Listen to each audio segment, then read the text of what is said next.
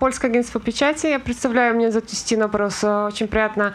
Э, скажите, пожалуйста, Александр Григорьевич, э, вы говорили много и сегодня, и раньше про тех людей, которые выходят на протесты, э, и очень однозначно говорили о них, что они ну, действуют против против страны.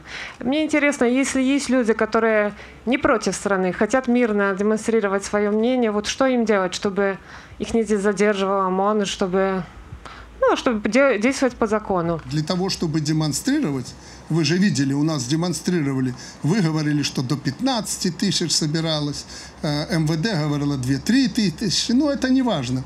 Демонстрировали? Демонстрировали. А последние их оппозиционные митинги даже ОМОН и милиция охраняла. Мы беспокоились за людей, мы их даже охраняли. Но для этого есть отведенные места, как у вас в Польше, так гайд-парк в а, Великобритании и так далее и тому подобное. Идите и демонстрируйте. В Минске у нас шесть площадок. Шесть! И только на двух площадках демонстрации были. Еще четыре в запасе. Идите и демонстрируйте. Но если вы будете демонстрировать, э, где попало в нарушение закона, законом все урегулировано, и будете мешать другим людям, ну, мы будем призывать вас к ответственности. Вот и вся арифметика. Площадки были заранее расписаны, и прежде всего была дана возможность оппозиции определить, в какие дни они будут проводить.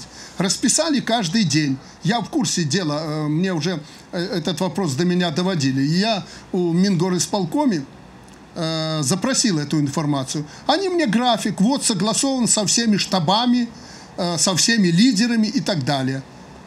Какие вопросы могут быть? Я же не резервировал эти площадки. Я же не проводил в Минске ни митингов, ни пикетов. Какие ко мне вопросы? Если расписали, ну, надо придерживаться этого. Захотите э, после выборов выразить свое мнение, хорошо, давайте посмотрим, на каких площадках по закону в горе с полком пойдете и выразите свое мнение. Учитываете, берете э, как бы такую возможность, что могут быть введены санкции против Беларуси? Пугать нас санкциями не надо, мы уже знаем, что такое санкции.